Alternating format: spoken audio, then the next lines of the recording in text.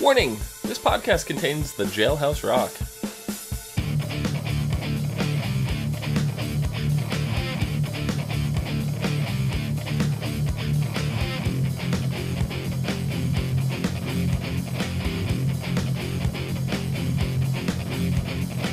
What's up, everyone, and welcome to the As Seen on TV podcast for Pretty Little Liars, Season 7, Episode 17 Driving Miss Crazy. I'm your host, Dom, and with me is Nikki.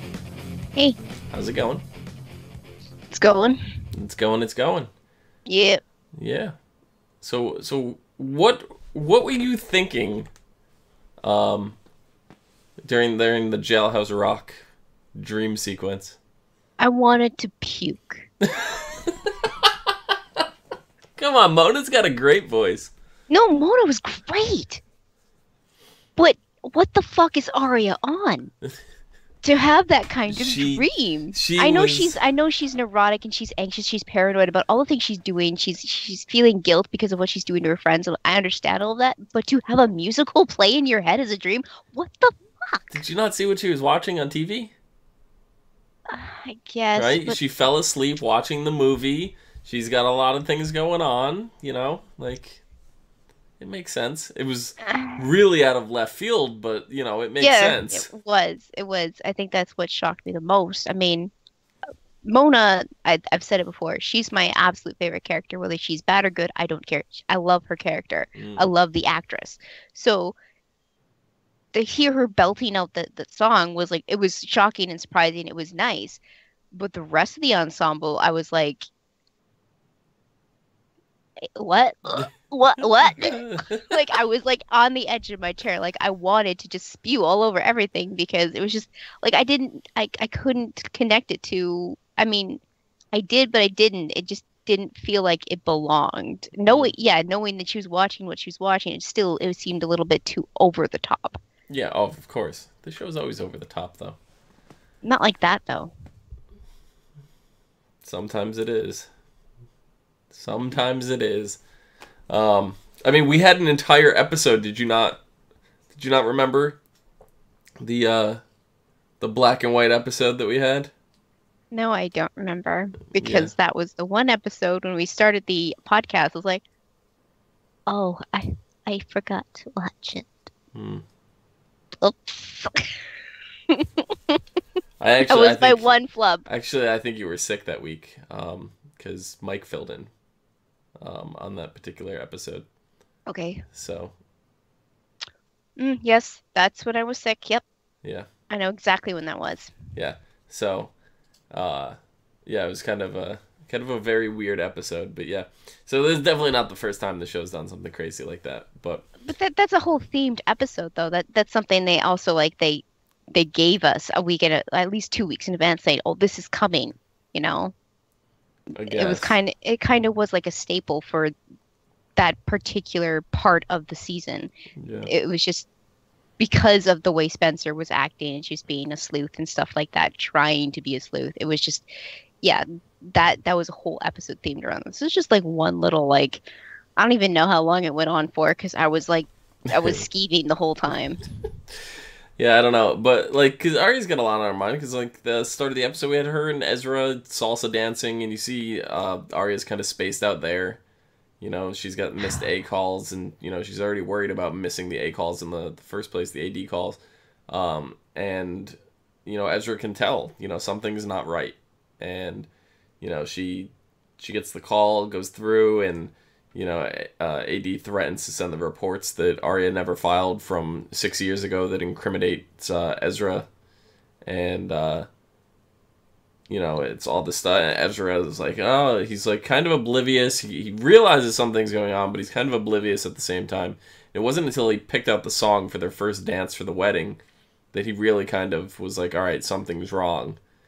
Um, and he thinks that it's Aria having doubts about them for the the relationship, and he even kind of said, you know, I hope you don't still hold, you know, everything against me from, you know, six years ago, which is right around the time where Aria filed the report, you know, filed the reports but never sent them, you know, whatever. She wrote, she filled them out but never sent them. So, um, I was like, oh, this is gonna come back to bite her in the ass, and you know, and everything that, that she ended up doing. She she planted uh, a Bluetooth phone, you know, in uh, Spencer's house to sync to her her speakers.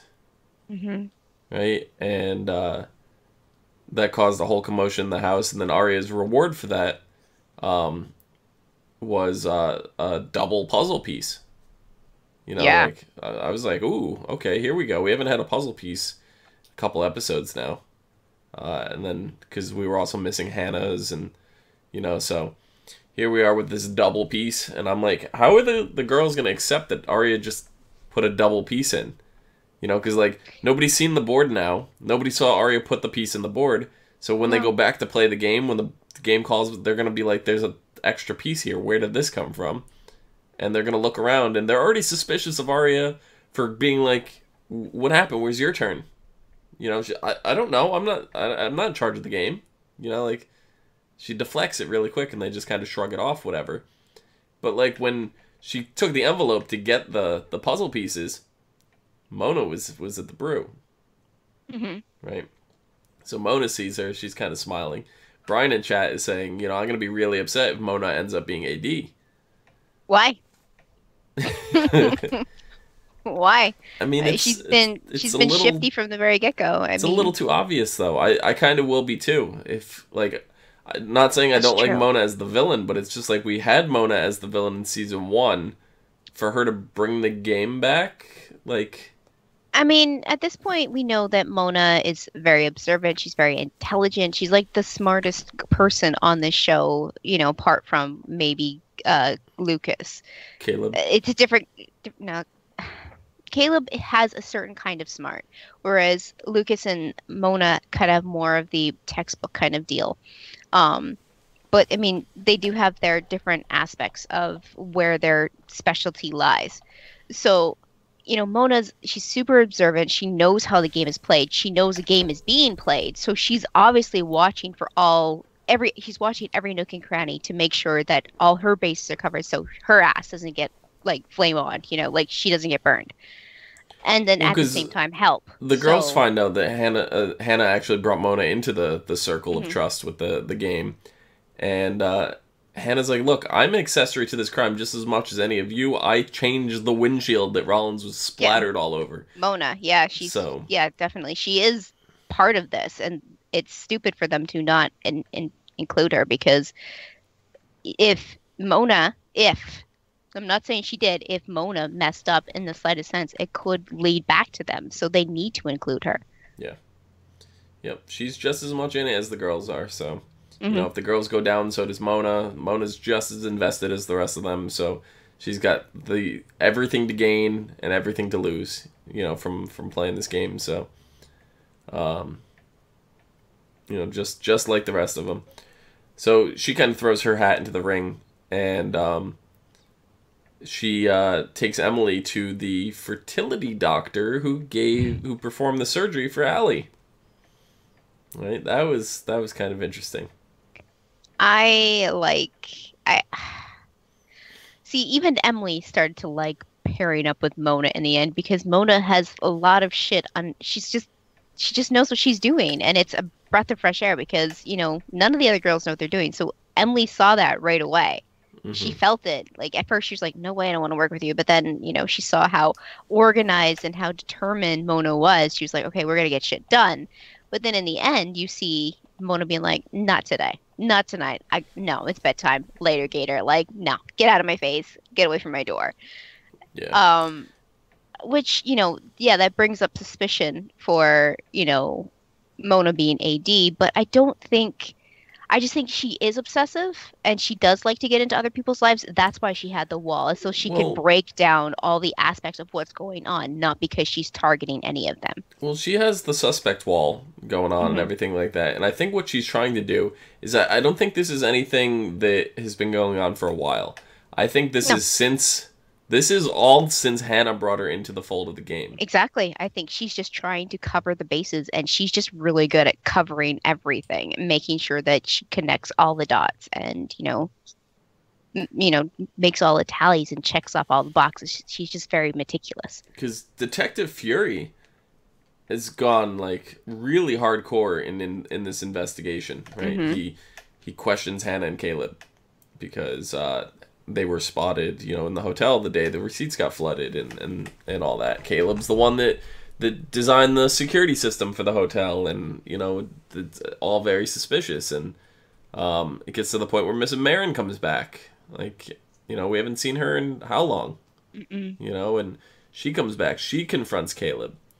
Um, and then you have Hannah going to like cover bases, trying to get the shovels from the uh, the park ranger from you know that they buried Rollins with, Mhm. uh, and they're missing. So the, the the park ranger assumes that the police took them for testing, and uh, you know, um, and then you have Furey questioning uh, Spencer about her and Caleb's relationship, and if that's why, you know, everything happened the way it happened at the bar, you know, and and uh, if that's why they're covering for her and she's covering for them, and you know, all this stuff is because there were there was uh, a lot of you know they they were together at the time, you know, and all that stuff, and then he starts questioning whether or not Spencer got with him because she needed a cop in her life at that time. You know, it was Uh, just And I get what he's trying to do,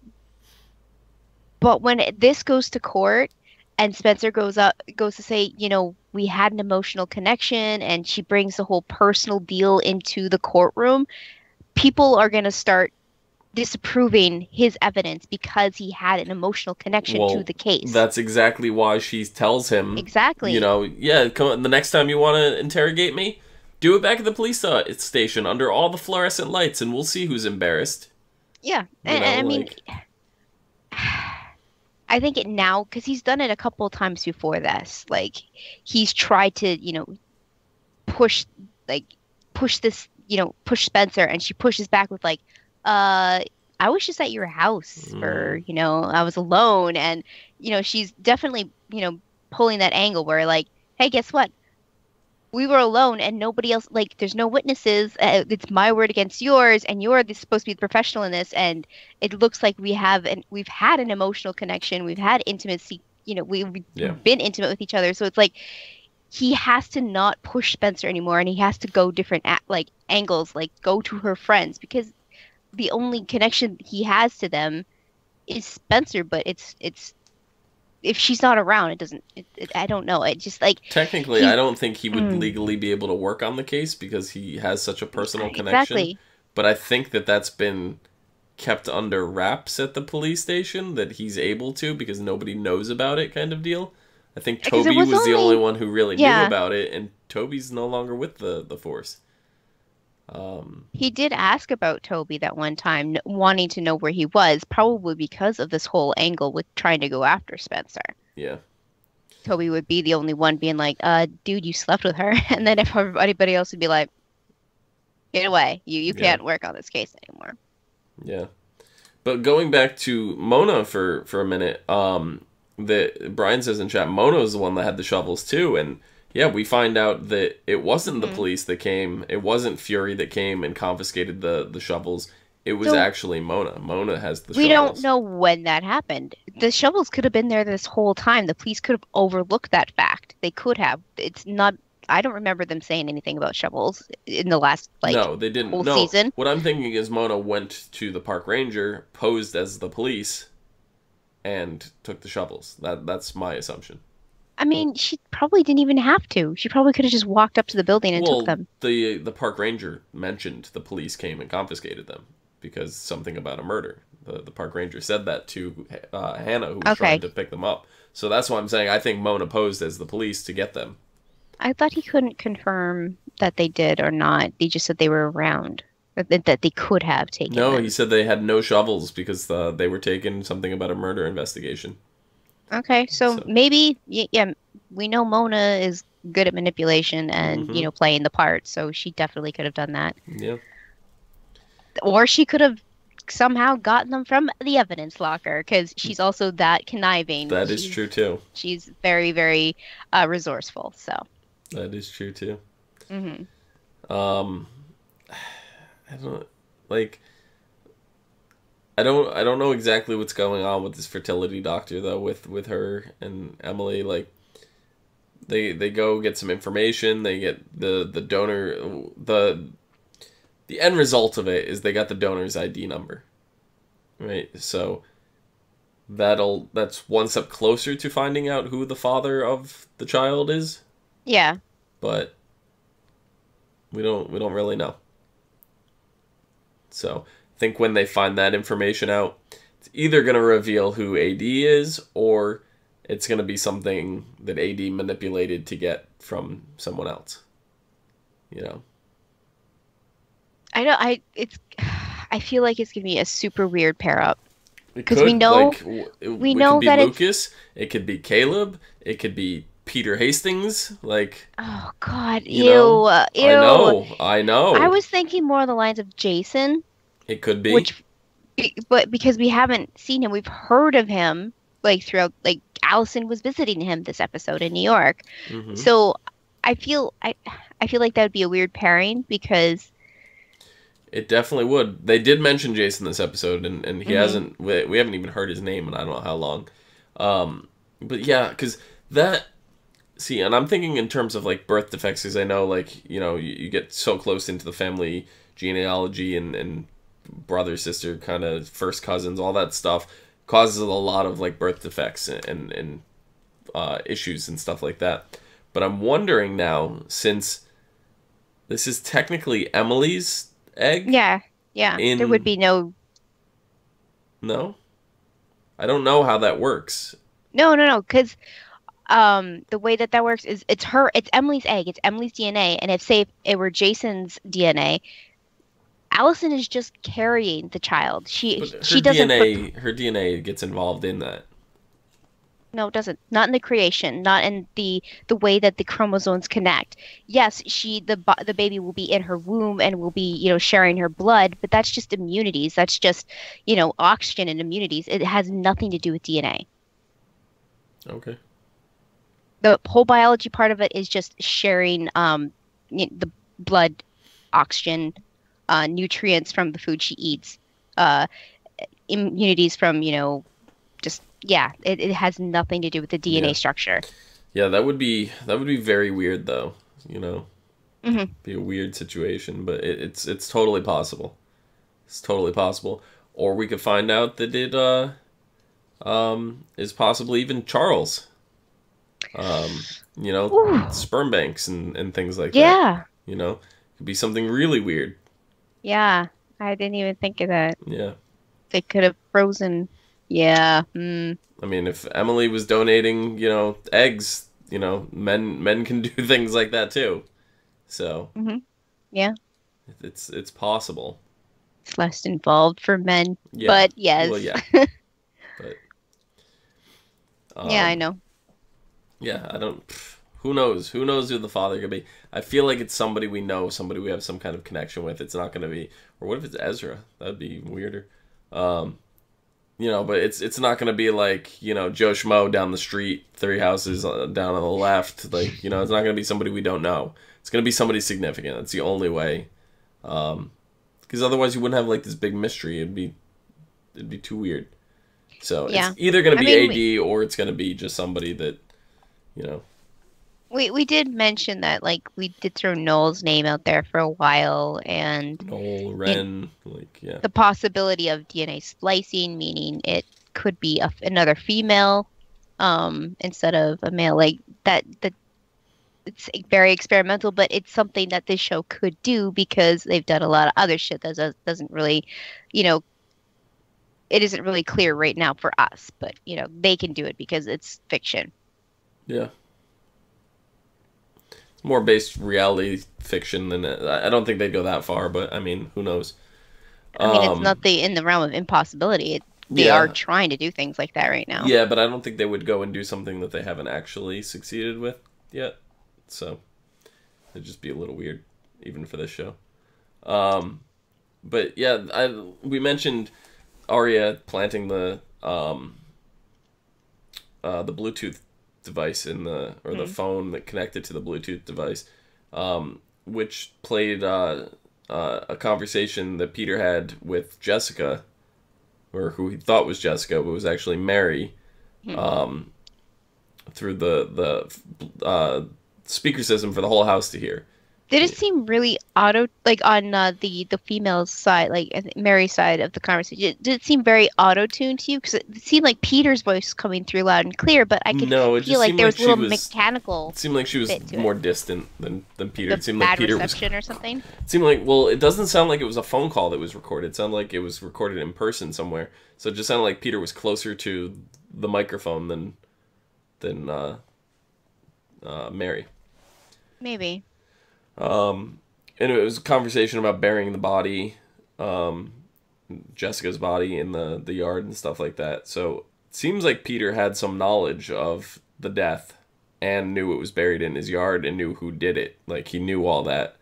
Um, so that really kind of like put him in the spotlight of you know questionable motives, and uh, Yeah. because of all this, uh, Mrs. Hastings actually forfeits uh, her council seat, which Yeah, Very- up the Senate. yeah, very very surprising. She decided not to move. Told Spencer she could start on unpacking her boxes. Um, and in the meantime, Spencer had already taken a little trip with uh, with Mary Drake. They went back to the uh, hotel because Mary was hiding in Spencer's car. Uh, and they talk, and we got to see this uh, flashback with Jessica and Mary and Peter, and you know all this stuff. And that's when Spencer starts questioning you know her father's intentions and motives and stuff and all this but spencer ultimately decides that she's not ready to leave town with with mary she's she's not ready to leave her friends or her parents especially her mom and uh she didn't want to leave the people who need her. yeah her- and mary was actually quite understanding Yeah. um and uh spencer forgives her so you know that that's I can't say a happy ending, but you know they're they're on the right path, so that's good. I hope I hope Mary's not involved in in the AD stuff because uh, that'd be bad. I don't want yeah, it to be. because I don't want it the be. whole this this whole like forgiveness charade that she's been trying to put on for Spencer, like you know, getting her to forgive her, it would be all undone, Yeah. Yep. And then Spencer would be back to her crazy, not trust anybody self, which she's Mm-mm. kind of on her way back to doing that anyway. So Yeah. it would solidify it at that point. Yep. Um, Brian says, "What if Toby is the father of Emily and Alison's child?" I think that's the most least likely option. I don't see that. I don't see that causing a rise out of any of the girls. What if it's Furey?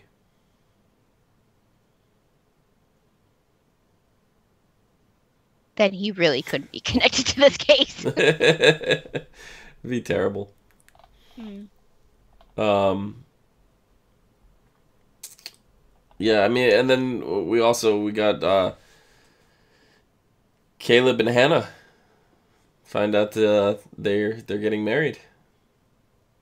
Uh, Caleb unintentionally proposed to to Hannah. I mean, uh, not unintentionally. I mean, he meant to do it, but it was Yeah. kind of like an improv. Like, It was more like Hannah's mom being like, "Okay, now or never." It was like she didn't like really push him, but at the same time, he's like, "Okay, that- I no, have to prove something to Ashley that I actually do mean to have good intentions with Hannah, and I do want to marry her eventually." He's like, "Now I don't think that's what it was. time." I think it was that uh, Mrs. Hastings, Mrs. Hastings, um, Marin. Marin, Mrs. Marin was um, questioning why Caleb was around because it's like, okay, well, this just got uh, broken into. It seems like all this crazy stuff is happening again. Like, you know, and then you and, and Hannah have been on and off, and now I find out that the two of you are in the hotel, but you're staying here. Like, what is going on? You know, just so I know what is going on. That's what it seemed like. Um, and it seemed like Caleb was trying to deflect all the AD stuff um, and then just started talking about his feelings for Hannah and realized at that moment that he can't live without her. It was like as he was talking about it, he was having he was coming to the realization that he something he knew all along, you know. But it, it was Yeah. he was he was finding it out as he was just talking, and it was just all off the cuff happened, and he just blurted it out and proposed to Hannah right then and there. It's like they didn't plan it. You know, you saw uh, Hannah like tearing up, like she wasn't expecting this. This is something totally improv by Caleb, and Usually the other party does has no idea Well- about the proposal, so I mean I can understand that whole bit. yeah, but, I mean, like, I mean, uh, you kind of you get to a point where it's not necessarily like out of left field. You know, like you No, kind of you kind of know like you're on a mutual understanding of of yeah, this is probably gonna happen at some point, but not then, not when all the crazy stuff was going on. Like that was probably the last thing on either Yeah. of their minds, you know. And and Caleb just kind of sp- spit it out, you know. And sometimes no, sometimes not everybody, not not all the time is it a surprise. Sometimes it, is a discussion of do you want to do this, you, you know. It's not always a surprise. But um he's just like, "Look, no, I want to do this, no bells and whistles." So it's going to be like a a small little ceremony it seems like with just close friends. It doesn't seem like it's going to be like Aria and Ezra like extravagant planning whatever they're doing cuz Ezra is like, "I wish it was just, you know, me and her, two people or whatever." And you hear Hannah go, "What did I just get uninvited to the wedding?" You know, and it's like you look at that now, that scene, and, and you see, you know, Caleb and, and Hannah were, were um, sitting there talking to Ezra. So you know, you could kind of tell, oh, maybe Caleb was getting some ideas from you know everything that was going on with that. Um, but they go camping, and you know, uh, Hannah brings some drinks. Uh, some cigars. They they do this cute little cigar band ring thing. that was really cute of Hannah. Yeah, It was super cute. Like the I just like looks I, I kind of had the same reaction as Caleb was like when she pulled the cigars out of the bag like what is going on here and then it was just uh, like just the rings really it Yeah. felt like they were actually gonna like light up the cigars she just brought them for the little paper rings as symbolism yeah. which was I'm really sure. cute I'm sure they probably intended on on smoking them. Um, I mean, it, the cigar. If if you don't inhale the cigars, they're not awful. You know, like you're you're not I- supposed to inhale them. So I don't think they're getting to the cigars no, no, they definitely maybe not. I I think she bought them with the intention of like a. I mean, they may they may they may have the cigars afterwards. You know that that's a thing. I guess So- yeah But no, I think she Yeah. definitely bought them with the intention of it. You know, the for certain people, um, cigars are like a celebratory thing that you only do like once in a blue moon. Other people, it's like no, let's have a cigar every day. Some other Mhm. people are just like, oh, I have a cigar when I play poker. You know, like, you know, it's It's a, it's almost like for a lot of people cigars are a ritual thing. It happens only at certain occasions. Yeah, Yeah. I know that. Yeah. Like my my uh, uncle used to do the same thing. Yep. Yeah. So it's a big special occasion. Hannah's like, let's do it, whatever. So I, I, I think that was her intention was to. I don't think it was just for the rings. I think that was just kind of. Uh, um, I don't know, and especially how how we know how ditzy Hannah is. I think it was just kind of like, as she was taking it off to open it to smoke, she's like, "Oh, this is a ring," you know. Like, I think that's where Hannah's brain was going. But, Maybe. Yeah. I don't know. It seemed like one of those uh, situations where she actually thought through. Yeah. I don't know. Things are, are coming down to the wire here. We have Mhm. uh, three more episodes left of the show. Yeah. Um, it's it's gonna come down to uh, don't know. Really soon, we're gonna we're gonna we're gonna find AD. We're gonna see this whole thing through. Uh, Zarin in chat asks, uh, "Who is AD?" We don't know. Don't know. Uh, if you asked me, you know, a week, not not a week. You asked me like a couple months ago, I would have told you it was Aria. But now that Aria's playing the game, I don't think so. Uh, right now, the only if it's if it's one of the the girls, the only one that makes sense to me is Spencer, Mhm. um, because you still look at it, and yes, all the girls have played the game except for you know Aria, which she's still kind of playing the game, working for for AD.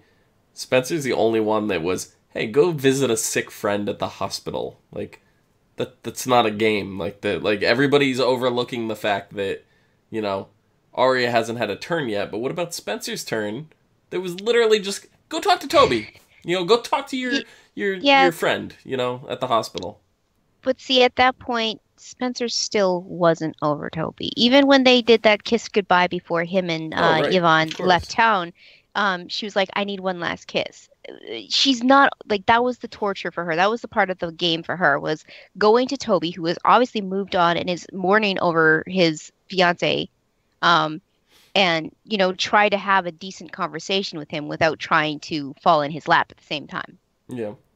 No, I get it, but I'm also saying if Spencer's the one in control of the game, that doesn't look too bad Yeah. either. You know, That's that's right. something she wants to do anyway. So, um, just you know, throwing that out there.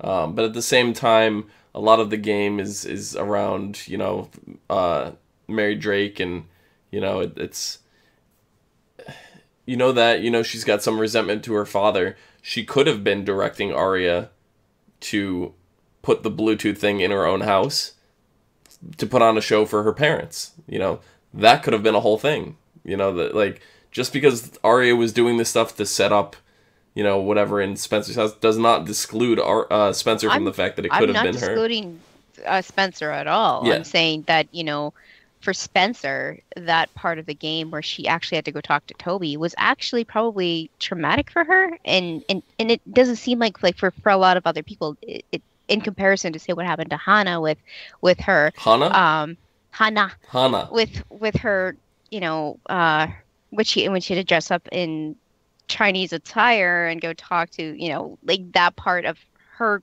It seems like it's a lot more um, impactful, but that is her career. That's you know her future. Whereas for Spencer, she's a very inside person already. It's probably like it probably tore her up even more. Yeah, I'm just saying that like if, if Spencer's in control of the game, that seems like a really Oh, easy yeah. thing. You know, to Definitely. oh, I want to go see him anyway, so I'll just make that my game. You know, like go do something that you wanted to do anyway. Um, where Aria, Aria wouldn't be directing herself. We wouldn't be seeing scenes of Aria alone, crying and sobbing. You know, like if she was in on it. Um, you know, I, I mean, I can't disclude Emily either. You know, because yeah, her eggs were stolen. She knew where her eggs were. She probably knew the facility. She could have stole her own eggs. She could have, uh, you know, had this thing set up to. She could. She could be involved in this, and then plant them in Alison. Plant her eggs in Alison, and finally get together with her. You know, something she's always wanted, and I mean that's a possibility. Um, Alison's definitely not involved. There's no way. So we could disclude Alison. We could disclude Aria, but we can't disclude Spencer. We can't disclude Emily. I don't really think we could disclude Hannah. Um, but Hannah is a little ditzy, so she seems like the the obvious choice to, to disclude, but or exclude. Um, but uh, I think that gives more reason to not overlook her because it could be an See- act that she's playing too. it, for okay, uh, I know a lot of people that um, are actually very intelligent, Mhm. but when it comes to uh, face-to-face social interactions and things like that, they are complete ditzes. Like you would think they are really stupid, but when it comes to you know organizing and you know um, planning, strategy, all that stuff, they are absolute geniuses. So Right. you know, Hannah could be one of those people where it's just social interaction makes her awkward and makes her spit out the wrong words, you know, use the wrong phrases and metaphors and stuff like that. It, it happens to people. I mean, it does, and but you could also play that off too because I'm not one of those people, but I could very well play that part. Oh, of course. You know, um, I can act really stupid, and you would, if you didn't know me, you would think that that's that that's how I am. You know, um, you've seen that from me myself. I play really dumb at times, and uh, other people are just like, "What?" And you're sitting there laughing because you know that I'm in on. You know, you're you're in on like a joke with me because I'm not I'm not being dumb. You know, I'm I'm playing dumb. You know, so everybody else is just like, "What? Ha- You didn't know that? Like, what are you talking?" You know, I don't know. So, uh, Brian asked where Paige was this episode. She's already moved. She's gone. Yeah. She uh, she shared that uh that one episode. She shared her last drink with Emily, and she went and stalked Alison and hung over her face while she was sleeping, and then asked her like creepy questions. And then after that, she's gone. She's left Rosewood. I think. I don't know. She didn't. We didn't we get can get confirmation that she left, but I think she did. Yeah. So, uh, and Brian says, why would Hannah torture herself though? Um, eh, you know that's that's part of it. Is is you kind of have that. You have those those scenes of of Hannah being tortured, but um, I'm not saying that Hannah was the one that cattle prodded herself in the barn because that was the dollhouse. That was something um, different. That was uh, that was Charlotte, right? That was that was during the time of Charlotte and and stuff like that. Um, so that was not her torturing herself. I think AD is somebody who who potentially picked the game up after that. Um, and if you if you're referring to the uh, the shoe store um, incident, Caleb was there. She could have just, you know, acted that out because she didn't know when Caleb was going to be watching, kind of deal. You know, we don't know for sure. I, I mean, we did see screws come through the with screw guns come through the wall and stuff, and you know, yeah. But like, as far as the the the machines running on their own and her getting scraped or burned or whatever, that that could have happened. You know, that's a glitch easily. But like, there were screw guns coming through the wall, so I think that part was more um, whoever was manipulating Jenna at that point. So Yeah. that's AD still. Yeah, it could be. But I mean, Uh, it's unlikely for Hannah. I'm just saying you can't really count Yeah. her out. It's unlikely. I, I do agree. Hannah wouldn't torture herself. No, but it, it's But- it's unlikely it's Hannah. If Yeah. if I had to make a wager, it's Spencer. Um, I wouldn't rule out Emily, um, but Spencer's still my number one choice if it's one of the girls. mhm. So I mean, at this point, I don't want to even guess a girl because they all have tor- been tortured in some way or some, like even this whole yeah. season, like this last bit of the season, like yeah, they could all be acting the part, but if they weren't, like if they were part of a, why would they do half that shit to themselves? Like you were saying with Spencer, you know, her her part of the game was a little bit lackluster in comparison to everybody else's, but still, why would she do that to herself? yeah, I, I don't know. I don't see that as torture. Um, but like uh, you know, you got to remember a lot of stuff that happened the other season stuff was not necessarily them.